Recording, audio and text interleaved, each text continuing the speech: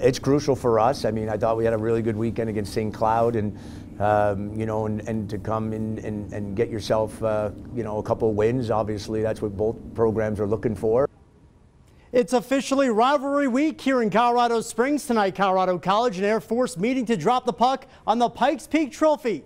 Ed Robson with tonight's honor before they break ground on the new arena tomorrow. But for now, we're going to head to the Broadmoor World Arena for the tune-up to the face-off at Falcon Stadium. Scoreless in the first, thanks to Falcons goaltender Alex Schilling. What a sophomore season, and what a stick save right here to keep it at zeros. Fantastic stuff. The Tigers would respond shortly after off the deflected shot. Chris Wilkie, a six cents for scoring.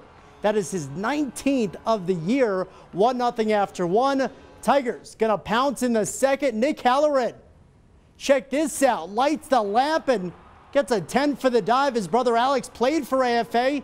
Not happy about that. It's two zip. Two minutes later, it's the captain, Alex Berardinelli, extending the lead on the breakaway.